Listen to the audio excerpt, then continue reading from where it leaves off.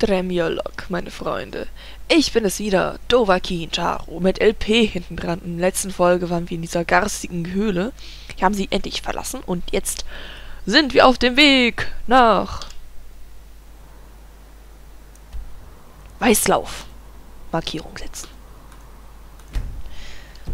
Okay.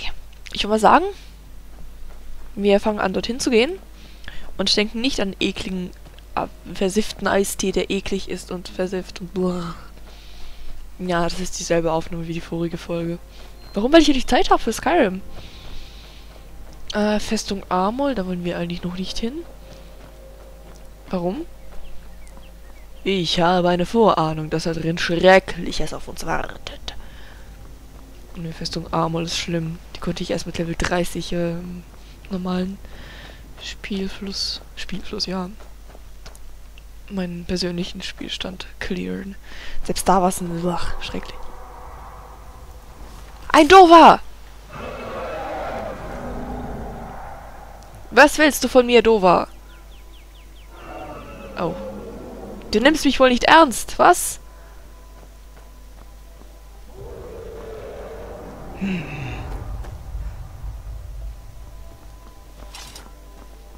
Habt ihr euch lange genug an diesem grotesken Anblick gelabt? Ich sollte wohl dankbar sein, dass ihr mich nicht sofort angegriffen habt. Was? Ich bin doch nicht so mies. Ich folge nur dem Drachen, deshalb hatte ich meine Waffen offen, gezückt und so. Der greift mich aber nicht an. Hey, du Drache! Oh, jetzt fliegen. Okay, gut. So viel zu Drachen sind aggressive Viecher, die alles lebendig angreifen. Ignoriert mich, obwohl ich das Drachenblut bin. Aber ich finde es schön, dass es Drachen gibt, die eigentlich nicht so mies sind. So, aber jetzt, jetzt wirklich nach Weißlauf. Wir haben zwei Minuten verschwendet. Ich habe keine Ahnung, was mit dem Typen ist. Der ist nervig und mies. Aber er hat mich nicht beleidigt, also lassen wir ihn leben. Uh, da ist Maik, der Lügner. Lauf schon weiter. Hallo, Maik. Etwas. Maik hat gehört, dass die Einwohner von Himmelsrand besser aussehen als die in Sirodi. Er kann dazu nicht viel sagen. Für ihn sind alle Leute schön. Och, Maik. Warum üben Soldaten eigentlich mit Zielscheiben? Man lernt viel besser, wenn man echte Personen trifft. Oh Mann, noch was? Mike ist jetzt müde.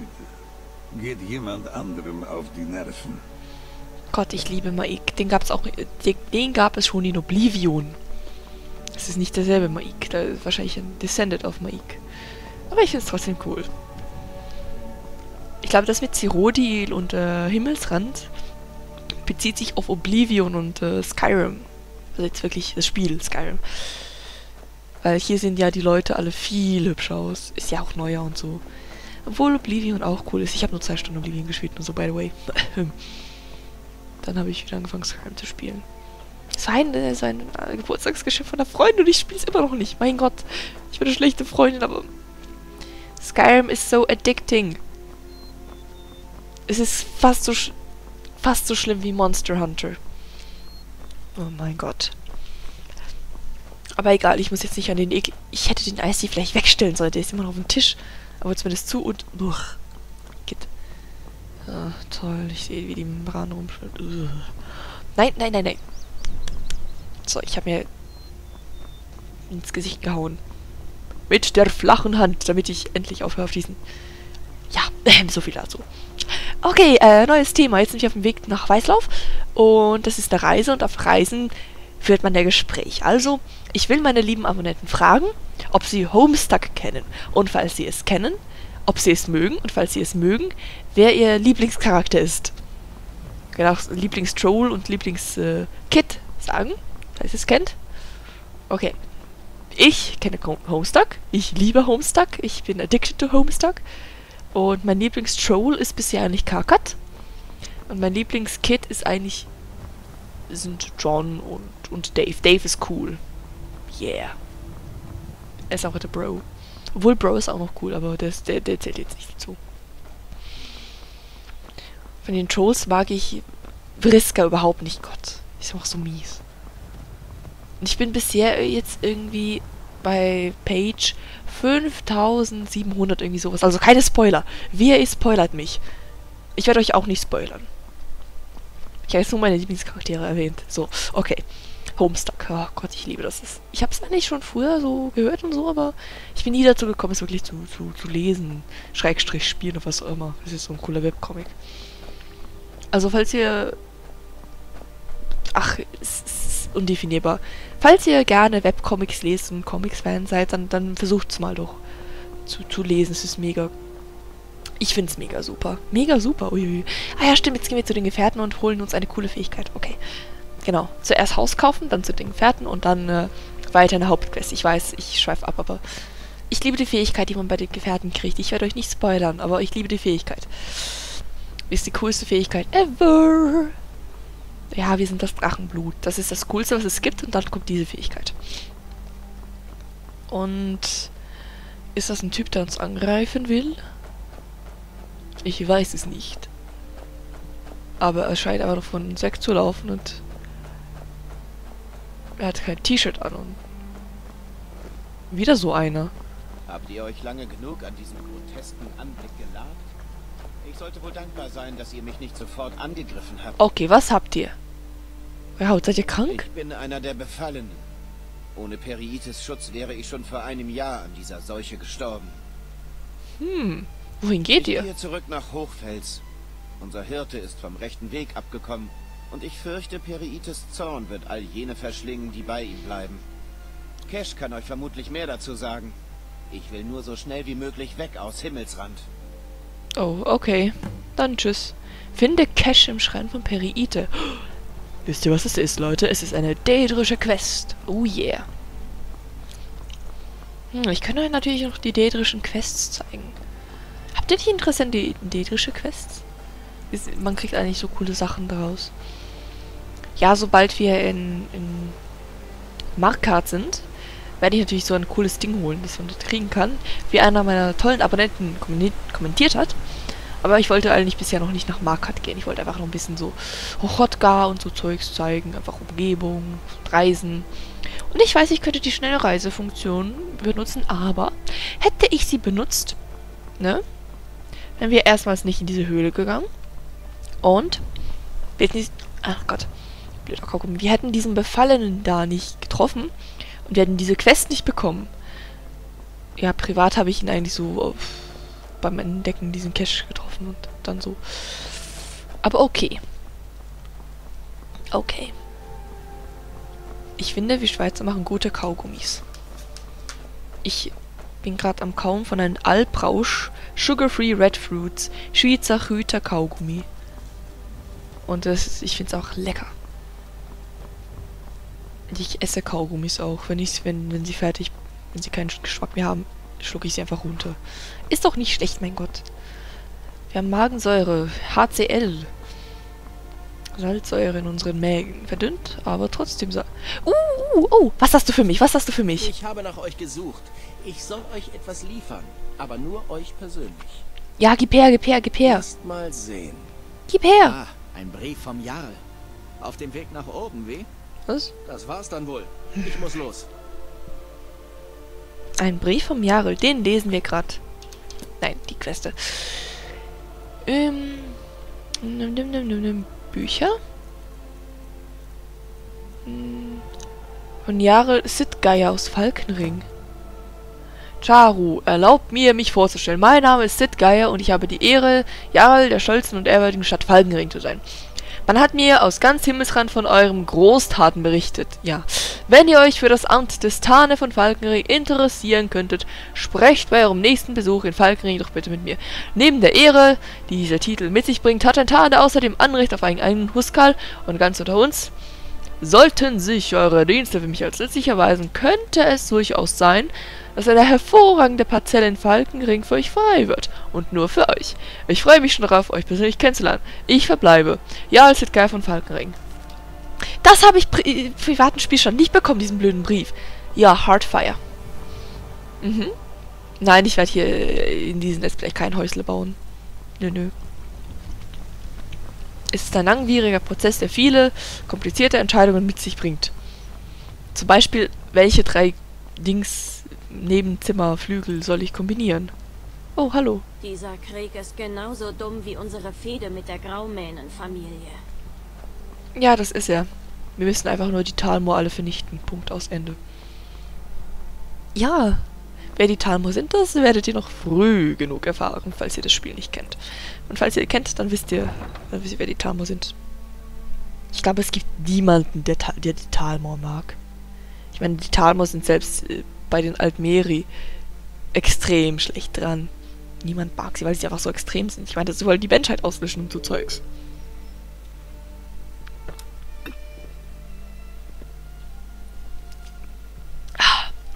Ich musste gerade was trinken.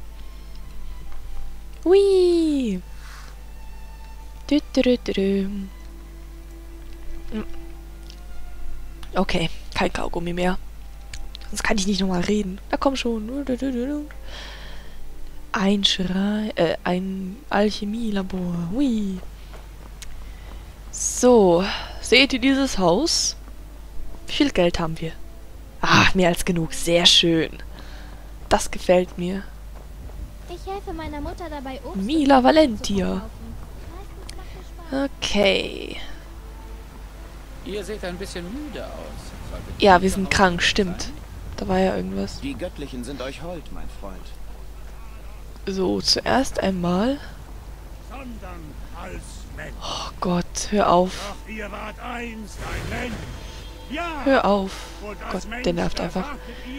Hey, ist das nicht die, Es ist die... wirklich eine Schande, nicht wahr? Hey, hey, hey. Erzählt mir etwas über diesen Baum. Das ist der Gülden Grünbaum. Er wurde als Setzling in der Frühzeit von Weißlauf gepflanzt. Die Anhänger von Kynaret spürten eine heilige Kraft in ihm und kamen von weit her, um dem Wind der Göttinnen seinen Zweigen zu lauschen. Sie haben den Tempel errichtet. Natürlich kommen heutzutage nicht mehr so viele Pilger. Wieso ist dieser Baum so besonders? Östlich von hier befindet sich ein verborgener Hain, der Ahnenschimmer beherbergt. Das ist das älteste Lebewesen in Himmelsrand. Vielleicht sogar in ganz Tamriel. Unser Baum hier in der Stadt wuchs aus einem Steckling jenes Baumes heran. Man kann in ihm immer noch die Pracht des Mutterbaums fühlen. Selbst sein Name ist ein Echo. Gibt es eine Möglichkeit, den Baum Mit dem wiederzubeleben? Gedanken habe ich auch schon gespielt. Bäume sterben nie wirklich. Sie verfallen nur in einen Schlummer.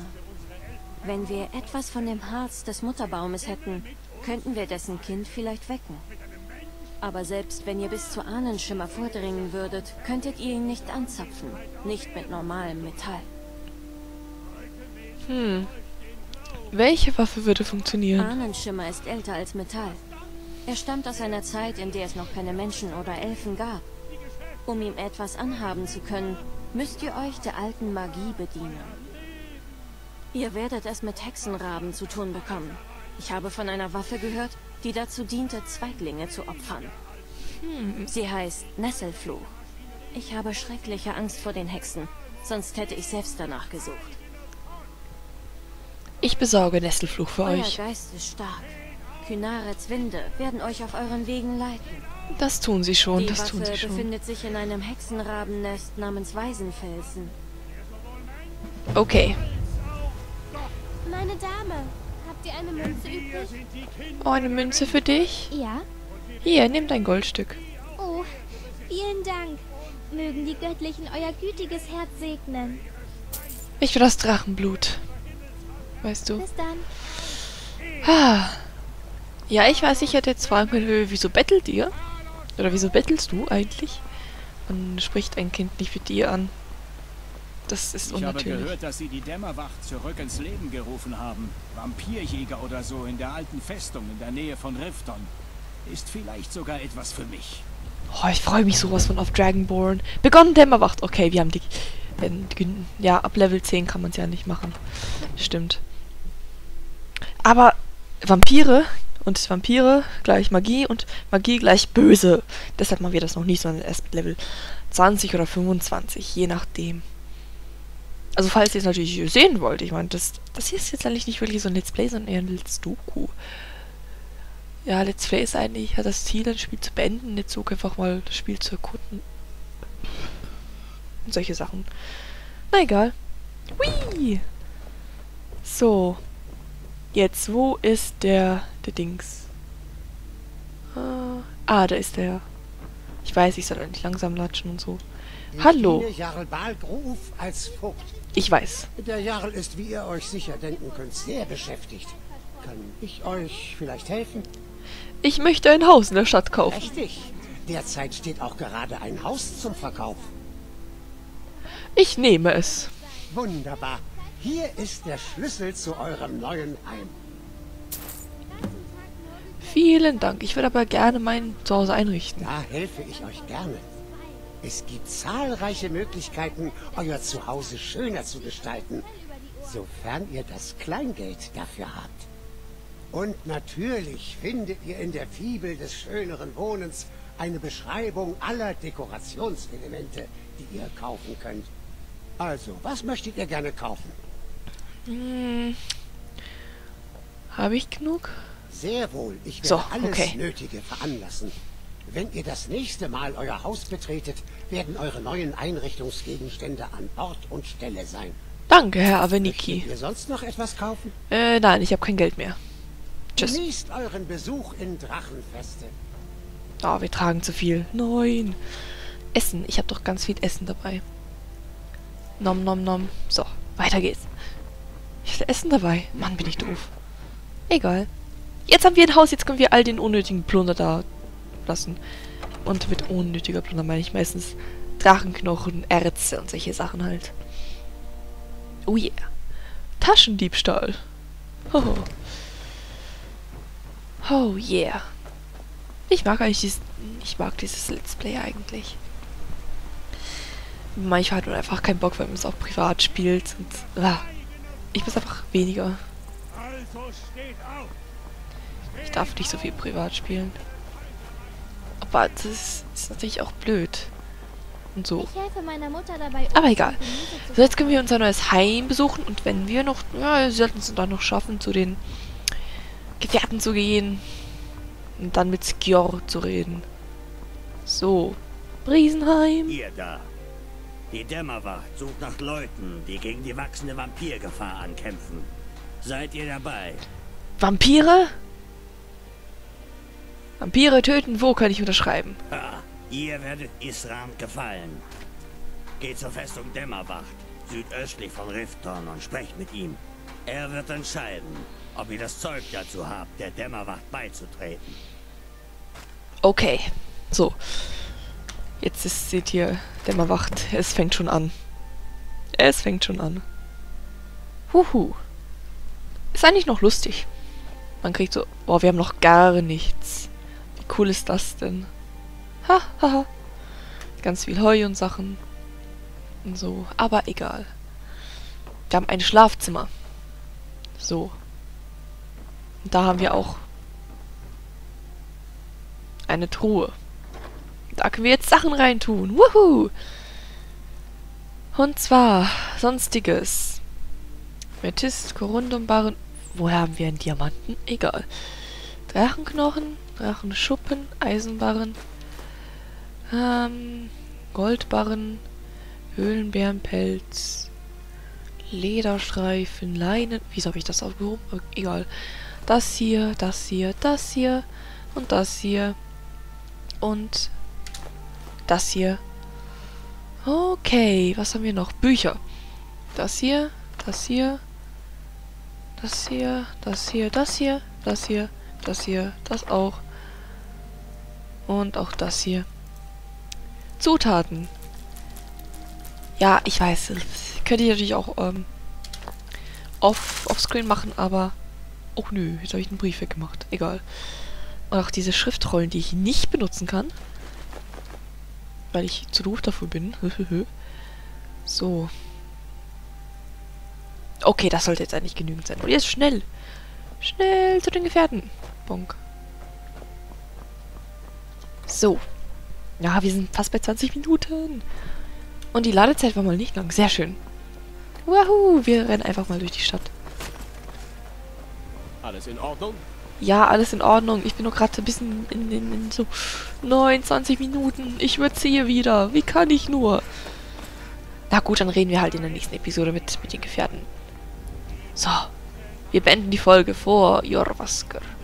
Ich hoffe, sie hat euch gefallen und wir sehen uns in der nächsten Folge, wenn es heißt, auf zu den Gefährten und mit ihnen reden und so. Äh, na egal. Na, bis zur nächsten Folge. Halt die Ohren steif. Tschö.